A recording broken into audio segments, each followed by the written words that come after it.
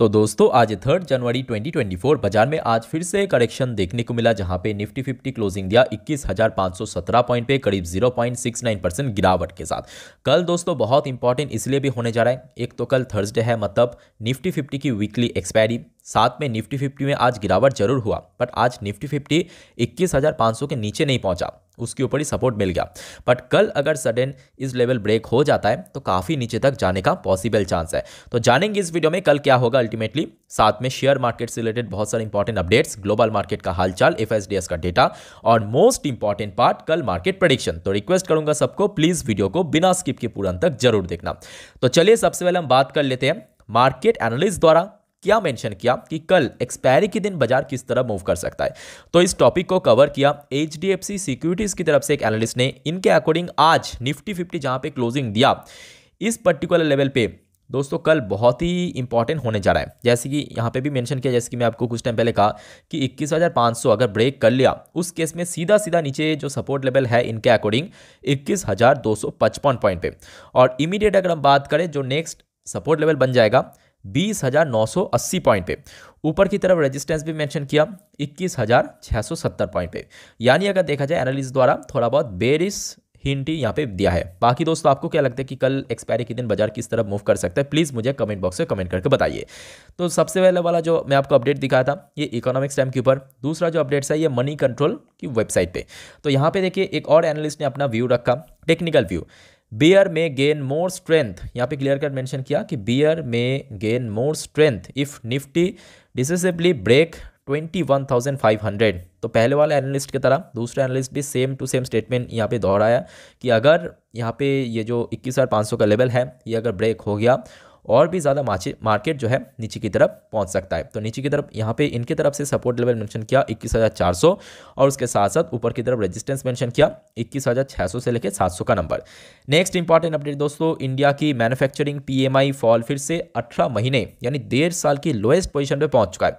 Last time हमने देखा था जैसे कि आप देख सकते हैं यहाँ पे स्क्रीन के ऊपर आपकी आ, ये देखिए नवंबर का जो पीएमआई था 56 अक्टूबर का था 55.5 और इस बार दिसंबर का जो पीएमआई डेटा आउट हुआ है आज की डेट पे 54.9 के आसपास। यानी अगर देखा जाए ऑलमोस्ट डेढ़ साल के नीचे डाउन में पहुँच चुका है तो ये बिल्कुल अच्छी बात नहीं है पीएमआई डेटा अच्छा होना चाहिए।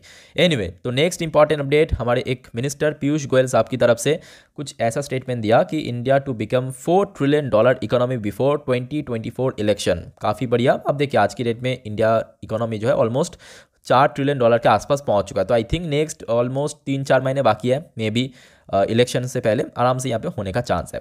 नेक्स्ट इंपॉर्टेंट अपडेट दोस्तों, बहुत ही मैं बोलूँगा, यहाँ पे शॉकिंग बात है, फिर से ईरान के अंदर दो एक साथ एक्सप्लोशन हुआ बड़े बड़े बम ब्लास्ट हुआ, और जिसके चलते टोटल 103 लोगों का दोस्तों डेथ हो चुका है। अब देखिए कौन सी देश जिम्मेदार है, या कौन सी टेररिस्ट ऑर्गेनाइजेशन यहाँ पे इसके साथ कनेक्टेड है, ये इसके ऊपर अभी कारोबार चल रहा है बट इसके कारण बहुत सारे फिर से ग्लोबल इश्यूज़ क्रिएट हो रहा है। जैसे कि मैं आपको आपको आगे दिखाऊँगा, क्योंकि आपको अच्छे से मालूम है, ईरान हो गया, इराक हो गया, ये सारे बेसिकली ऑयल प्रोड्यूसर कंट्रीज़ है ऑयल एक्सपोर्टर कंट्रीज़ है। और यहाँ पे अगर कुछ भी हुआ ऑब्वियसली इंपैक्ट आपको सीधा सीधा ऑयल्स के अंदर देखने को मिलेगा। और ऑयल्स में अगर कुछ भी हुआ, आपको अच्छे से मालूम होगा कि पूरा का पूरा इधर से उधर हो जाए, हो सकता है, ठीक है? ऑयल्स में अगर कुछ भी हुआ तो कहीं ना कहीं इसका इंपैक्ट आपको बुरी तरह ऑयल्स में देखने को भी मिल गया मैं आपको दिखाता हूँ, आगे देखते जाए बट फ़िलहाल ये न्यूज़ काफ़ी शॉकिंग है। कि जहाँ पे एक तरफ़ इसराइल इसके आसपास ही है, वहाँ पे एक तो अभी आज की डेट में जंग चल रहा है, उसके ऊपर, ईरान के ऊपर भी टोटल दो एक साथ एक्सप्लोशन हुआ बॉम्ब ब्लास्ट हुआ, ठीक है?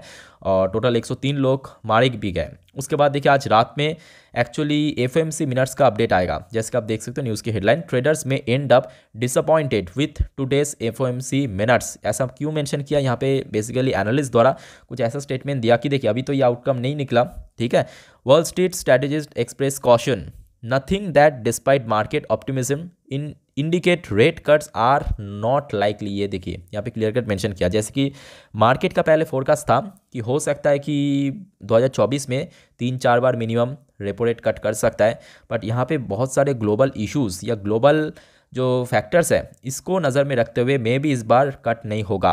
और ये जो आउटकम है दोस्तों यूएस मार्केट के टाइम के अकॉर्डिंग दो बजे के आसपास आउट होगा और इंडियन स्टैंडर्ड टाइम के अकॉर्डिंग रात साढ़े बारह बजे पे आउट होगा, ठीक है? तो देखिए, इसका अपडेट मैं आपको दे दूँगा। फ़िलहाल आप ये देख लीजिए कि अभी फ़िलहाल डॉजोन्स में क्या हाल चल रहा है तो देखिए डॉजोन्स सूरादी हुआ था एकदम से नेगेटिव में। अभी देखिए यूएस मार्केट में समय हुआ है बारह बज के चार मिनट तो लगभग देखा जाए दो घंटे बाद एफएमसी मिनट्स का आउटकम निकलेगा और वो बहुत इंपॉर्टेंट रहेगा उस टाइम पे, ठीक है? अभी फ़िलहाल देखिए zero point six two percent drop हो चुका है। नैसडैक कंपोजिट की बात करें, यहाँ पे तो भाई साहब और भी नीचे पहुँच चुका है। ये देखिए zero point nine two percent at the same time US की दस साल की बॉन्ड डील की बात करें, थोड़ा सा स्पाइक देखने को मिला बट जो चीज़ मैं आपको बोल रहा था कि ईरान में अगर कुछ भी हुआ ना सीधा सीधा ऑयल में आपको बहुत ज़्यादा तेज़ी, ये देखिए।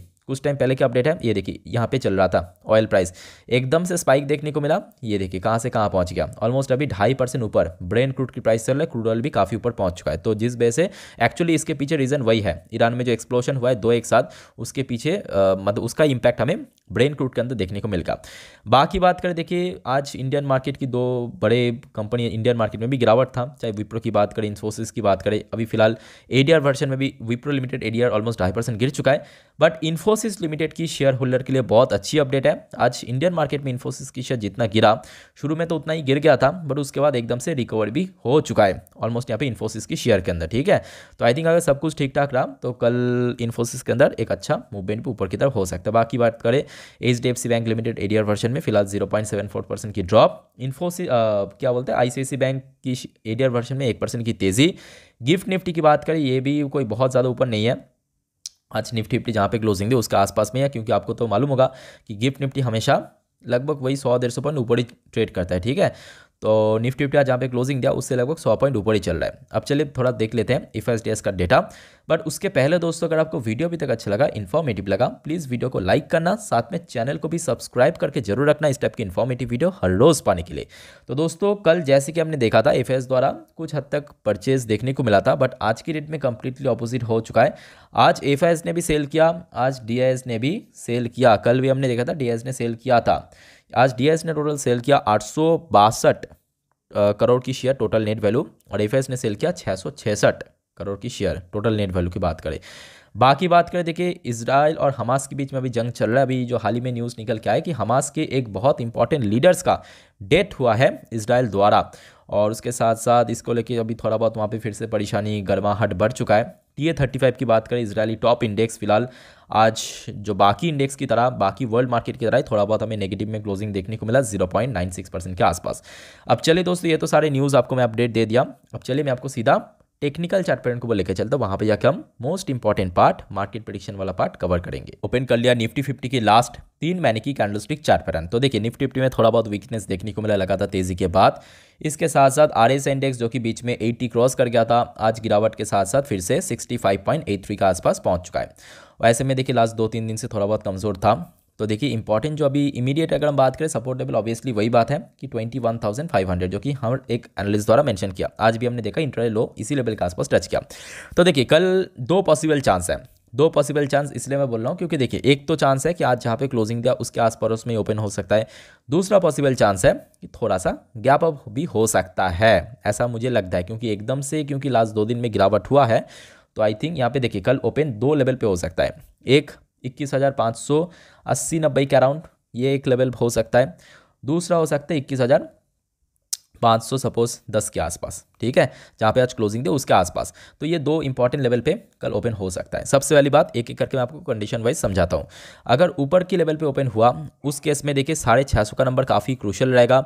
अगर नीचे की लेवल पे हुआ, उस केस में देखिए थोड़ा बहुत नीचे आएगा। उस केस में अगर पाँच सौ का लेवल ब्रेक हो गया तो काफ़ी नीचे तक जाने का चांस है। तो देखिए, कुछ इंपॉर्टेंट रजिस्टेंस एंड सपोर्ट भी मैं आपको दिखा रखना चाहता हूँ। जैसे कि आज भी हमने देखा, ऊपर की तरफ़ फिर से वही इक्कीस हज़ार एक बढ़िया रजिस्टेंस मिला। तो ये दोस्तों कल के लिए एक स्ट्रॉन्ग रेजिस्टेंस पॉइंट बनेगा। नीचे की तरफ़ सपोर्ट की बात करें, अगर 500 का लेवल ब्रेक कर लिया, मेरे बात को अच्छे से सुनना, अगर ब्रेक कर लिया तब जाके नीचे की तरफ़ यहाँ पे जो इंपॉर्टेंट सपोर्ट निकल कर रहा है इमीडिएट 400 के आसपास पहुँचने का पूरा पूरा पॉसिबल चांस है। इक्कीस हज़ार चार सौ के आसपास। आप पूछोगे क्यों?